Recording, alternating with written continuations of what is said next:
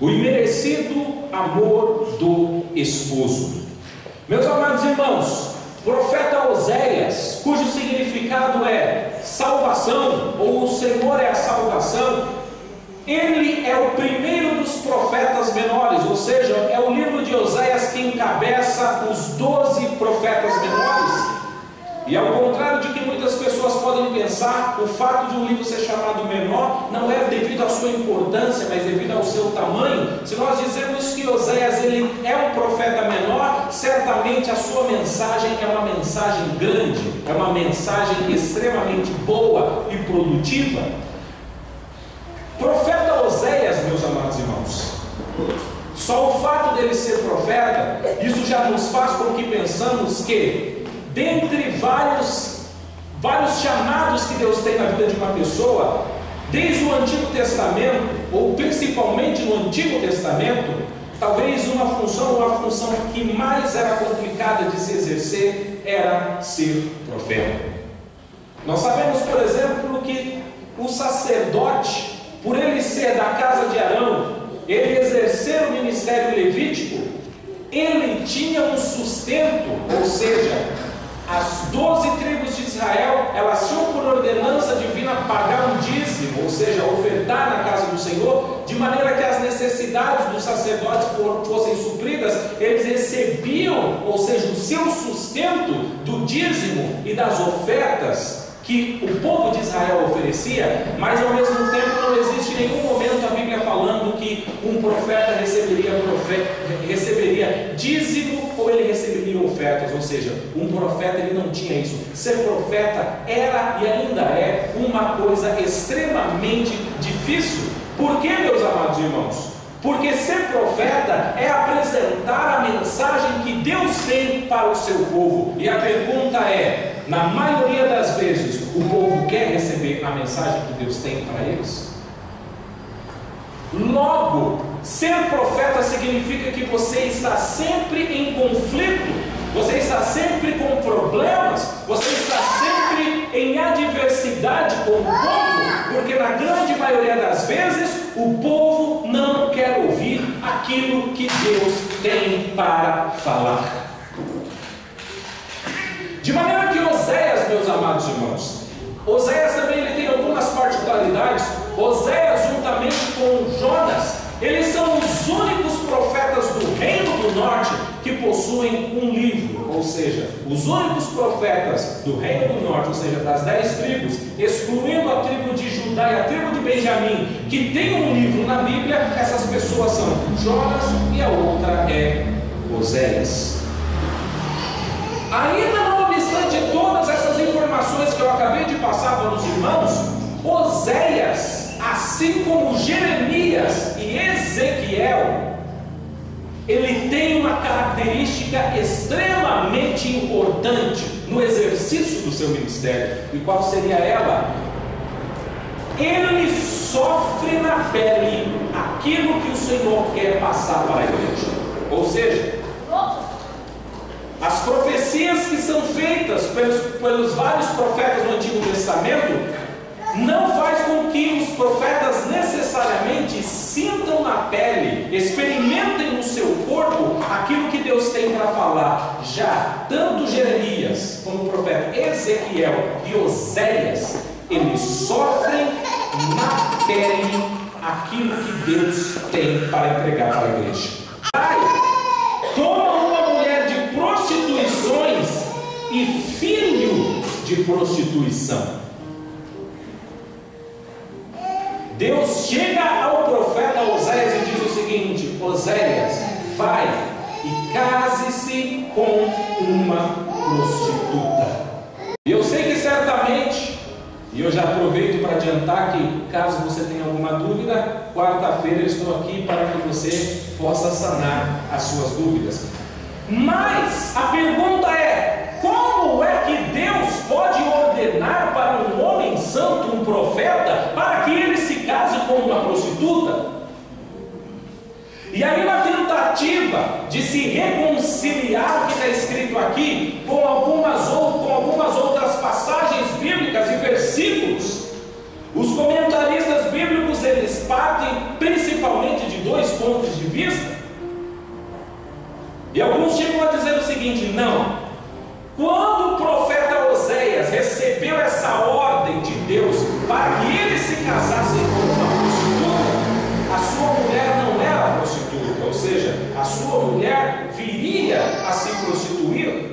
futuramente. E outros são da seguinte opinião: não, quando Deus falou para Oséias para que ele se casasse com uma prostituta, ele se casou com uma mulher que era, já na, na época do seu casamento, uma prostituta. Agora, o que eu quero dizer para vocês, meus amados irmãos, que partindo do ponto de vista do profeta, ou partindo do ponto de vista do sofrimento de Oséias, a pergunta é o seguinte: o fato de Oséias ter casado com uma mulher que já era prostituta, ou o fato de Oséias se casar com uma mulher que futuramente, ou seja, dentro do casamento, no casamento com Oséias, que ela viria a ser prostituta, isso muda alguma coisa? O fato de uma pessoa viver com uma mulher que é prostituta e casar com ela, ou se casar com ela enquanto ela é casta, ela é virgem, e depois ela vem a se prostituir, o que eu quero dizer para vocês é que, independente do ponto de vista que você adotar, um sofrimento existe, pois existe alguém aqui que gosta de ser traído. Ninguém gosta de ser traído. Logo, o que nós temos que avaliar e o que Deus ele quer mostrar não é necessariamente se ela era ou se ela veio a ser prostituta futuramente. O que ela quer dizer é: Oséias recebeu um chamado extremamente difícil, complicado e a pergunta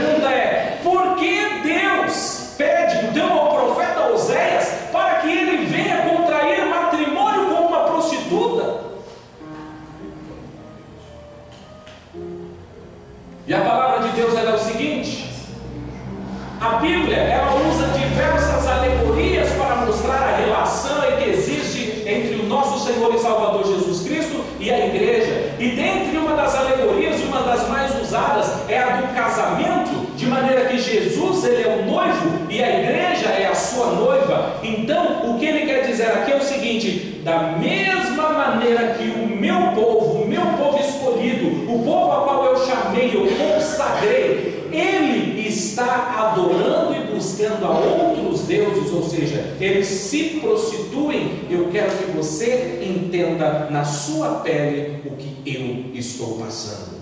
O meu povo, o povo a qual eu estou para casar, a minha noiva prometida, está se dobrando para outros deuses. Sabe o que ele quis dizer? Toda e qualquer vez que eu e você saímos da presença do Senhor, nós estamos adulterando espiritualmente. E ele disse em Oséias: para que você pregue essa mensagem, você precisa sentir na pele o que eu estou passando. Sabe o que ele quer dizer, meu amado irmão?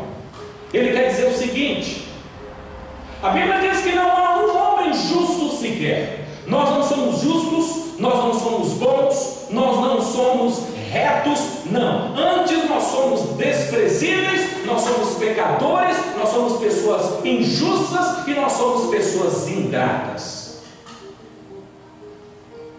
Mas o nosso Senhor, ainda que conhecendo o nosso estado, conhecendo a nossa situação, conhecendo todos os nossos defeitos, ele foi até a cruz do Calvário para morrer por esse tipo de pessoa que eu e você somos. Sabe o que ele disse? Ele, ele disse o seguinte: Eu quero, Oséias,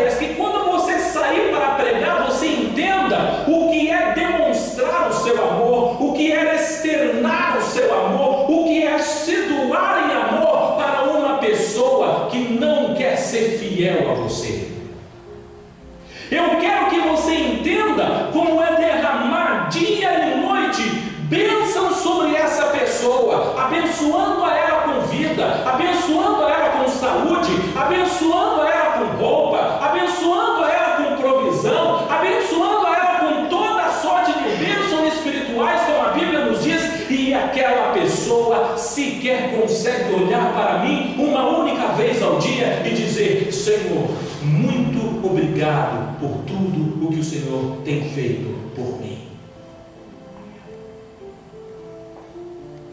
Meus amados irmãos,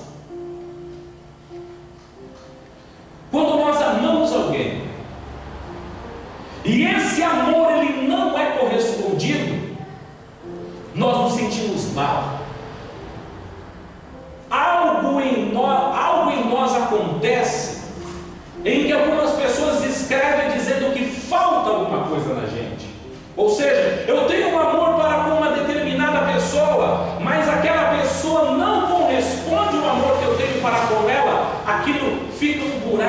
um vazio que deveria ser preenchido por aquele sentimento de amor, mas que não tem. Logo, meus amados irmãos, quando eu amo alguém, mas aquela pessoa não me ama de volta, não corresponde àquele sentimento de amor, eu fico com um vazio, eu fico com um buraco.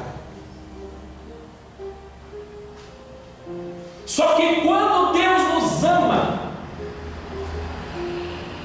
e nós não correspondemos ao amor Deus, existe uma grande diferença. A diferença é, meus amados irmãos, que eu e você, nós não podemos gerar a felicidade por nós mesmos. A Bíblia diz que porque dele, por ele e para ele são todas as coisas, a nossa felicidade está em Jesus. Para que eu e você, para que nós sejamos verdadeiramente felizes, nós precisamos estar em Cristo. Ou seja, você por si só, você nunca vai conseguir ser feliz. Não adianta o mais que você trabalhe, o que você busque, o mais que você force, o mais que você se esforce, você sozinho, pelos seus próprios esforços e méritos, jamais encontrará a verdadeira e plena felicidade. Pois a verdadeira e plena felicidade, ela só existe em Jesus.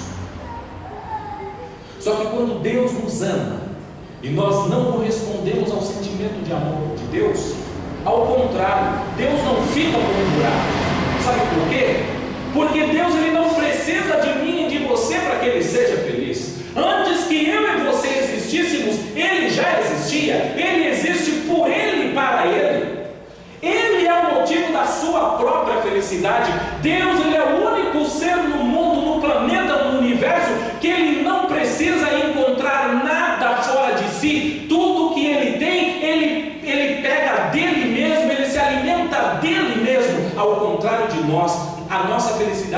está em nós mesmos, nós precisamos de algo externo, nós precisamos de Deus. Só que quando Deus nos ama e nós não correspondemos a esse amor de Deus, Deus ele se entristece. Só que a tristeza de Deus é diferente da nossa, porque em nós fica um buraco, mas Deus sabe, eu me entristeço não porque em mim vai ficar um buraco, mas eu sei que o lugar que eu preparei para que eu viva dentro daquela pessoa, ela não permite com que eu viva. Logo, eu me entristeço de saber que aquela pessoa jamais será feliz, de que aquela pessoa jamais viverá tudo que ela tem que viver.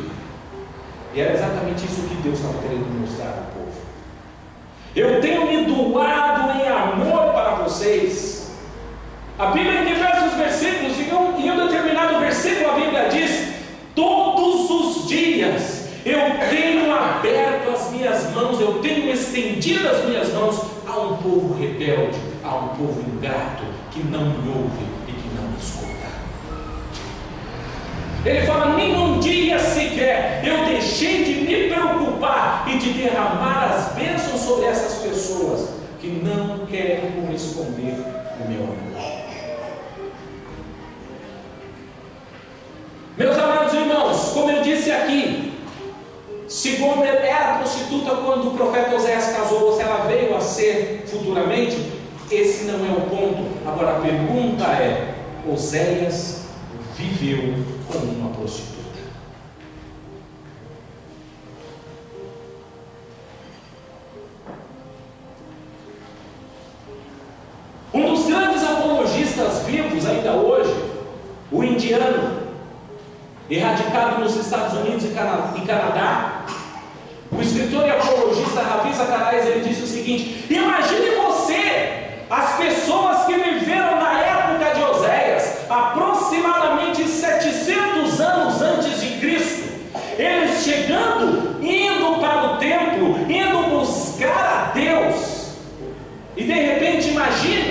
Uma pessoa chegar e perguntar: Ei, você, onde você está indo?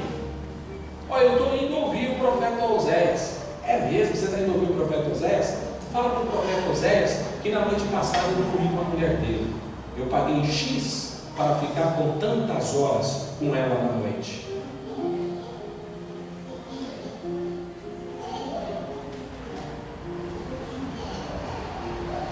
E aí a resposta natural seria: se alguém, se um homem ou uma mulher estiver fazendo isso com você, separe-se dele. Agora a pergunta é: por que é que quando eu e você nós abandonamos a Deus, será que nós podemos falar então, Deus, se divorcie, se divorcie de nós?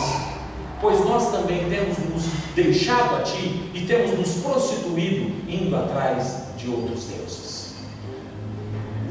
É muito fácil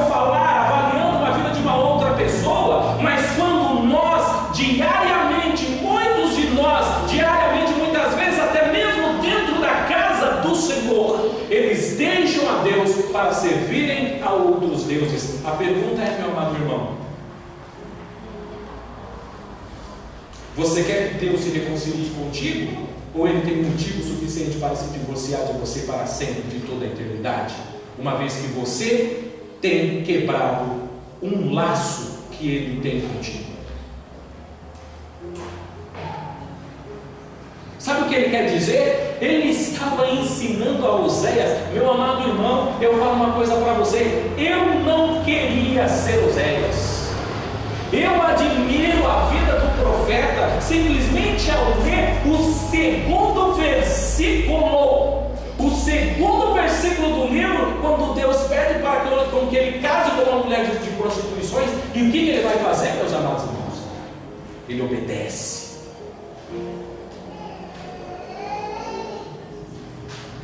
Toda vez que aquela mulher ela chegava tarde, ou que o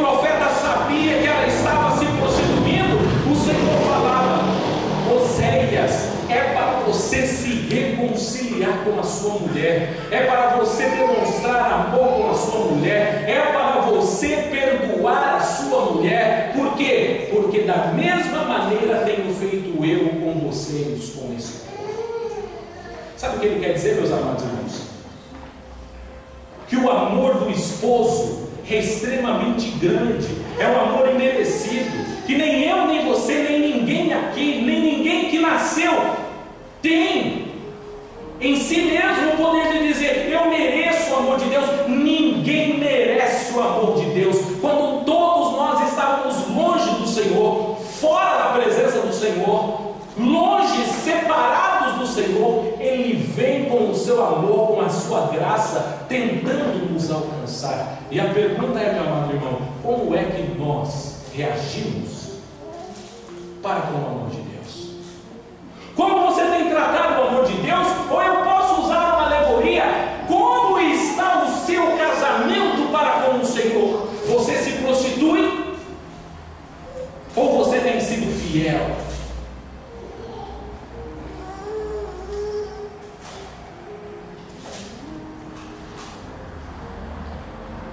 Sabe o que é, meus amados irmãos? Você olhar para uma pessoa e você olhar e falar: aquela pessoa não tem qualidade nenhuma.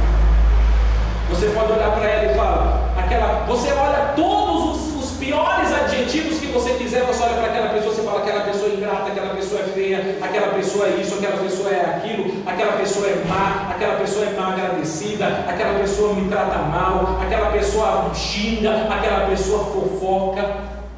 Todas as piores qualidades, você olha e Deus fala, Agora vai lá e demonstre o seu amor para com essa pessoa. Quem é essa pessoa? Eu, você, todos nós que estamos aqui.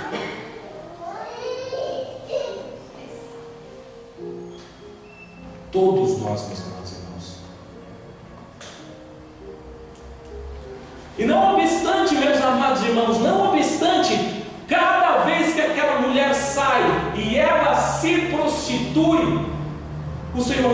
Senhor ele está sempre criando uma alternativa, Ele está sempre criando uma oportunidade para que aquela pessoa seja trazida de volta àquele relacionamento e que aquele relacionamento seja sarado, seja curado, é, possa voltar a ser o que era. Meus amados irmãos, não é diferente comigo e com você.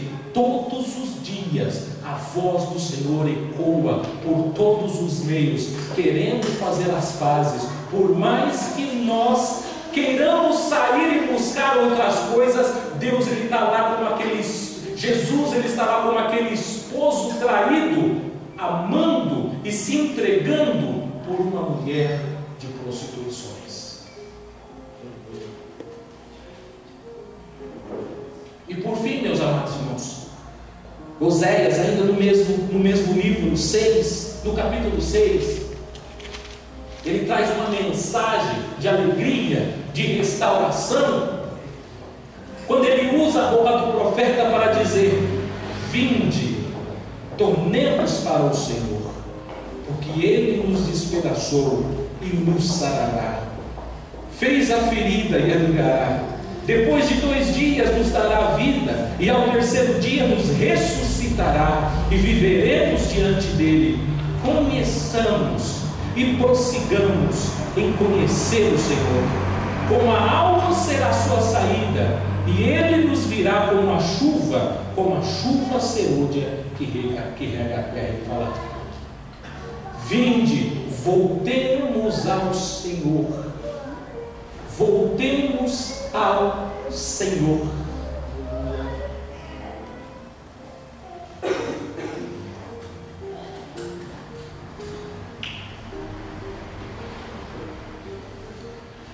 Mais nós conhecemos, quanto mais nós buscamos ao Senhor, mais nós melhoramos no nosso casamento, que é o nosso relacionamento espiritual para com Deus.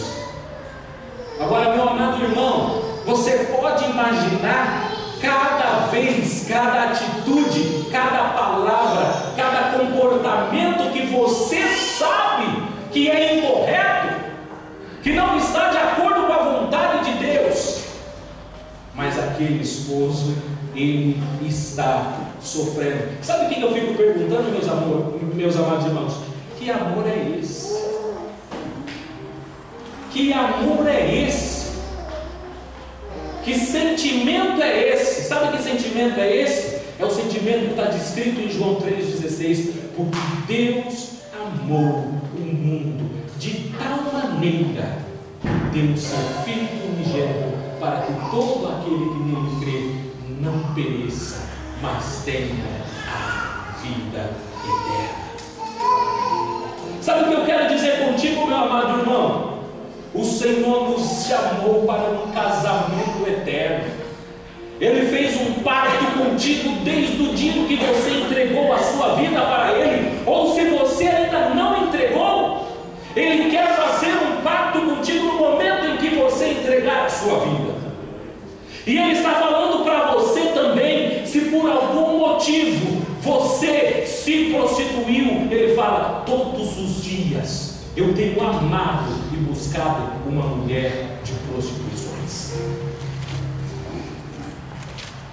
Como eu e você reagimos ao amor de Deus? Como eu e você tratamos o amor de Deus? Quando uma pessoa peca contra a gente, não, essa pessoa não pode ser isso, ela tem que pagar, ela fazer isso, mas quando nós pecamos, misericórdia, Senhor.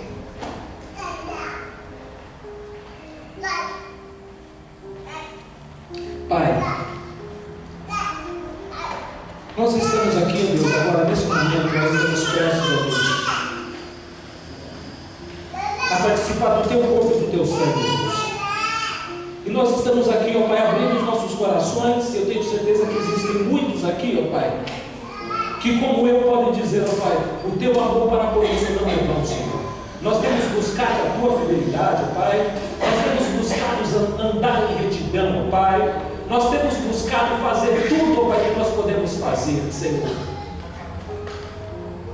E o meu coração, ó Pai, assim como a tua palavra se regozija, dizendo, Maranata, Ora vem, Senhor Jesus, ora vem, Senhor Jesus, porque nós não aguentamos mais, ó Pai, essa separação que nós temos contigo, ó Deus. Antes nós queremos estar na tua presença, ó Pai, o mais rápido possível, Deus, para gozarmos de todas as bênçãos que sabemos que o Senhor tem preparado para conosco. Pai, eu quero dizer, ó Deus, que nós agora iremos participar, ó Pai, do teu corpo e do teu sangue, sabendo, ó Pai, que o Senhor é o melhor esposo que nós poderíamos ter e que o Senhor nos ama, Pai, com amor que nós não merecemos, ó Pai, com amor do qual nós não somos dignos, ó Pai. Por isso que eu só tenho a te agradecer e a te dizer, ó Pai, muito obrigado, Deus muito obrigado, pois mesmo eu não sendo merecedor, Pai, mesmo não sendo digno, mesmo não estando à altura, o teu filho Jesus, através do sacrifício que nós lembramos hoje, ó Pai, ele nos resgatou, ó Pai, ele pagou o preço, ó Pai, ele limpou as nossas feridas, ele sarou, ó Pai, os nossos corações para que nós pudéssemos estar hoje aqui, de maneira que eu só tenho que dizer uma coisa, ó Pai, muito obrigado, Senhor. Muito obrigado, Deus, por mais um dia na tua presença. Muito obrigado, Senhor, por mais um dia de culto, Pai, de poder louvar e bendizer o teu santo nome. Pai, e nessa oração também quero pedir, ó Deus, para que se existe aqui entre nós, ó Pai, alguns dos teus filhos, ó Pai, que tem o costume ou gostam, ó Pai, de se prostituir, ó Deus, que o Senhor, ó Pai, os traga ao arrependimento, ó Deus que o Senhor nos traga uma mudança de vida, Pai, para que todos nós possamos, ó Pai, participar das bodas do Cordeiro juntamente contigo no céu de glória. Essa é a nossa vontade, esse é o nosso querer. Nós te pedimos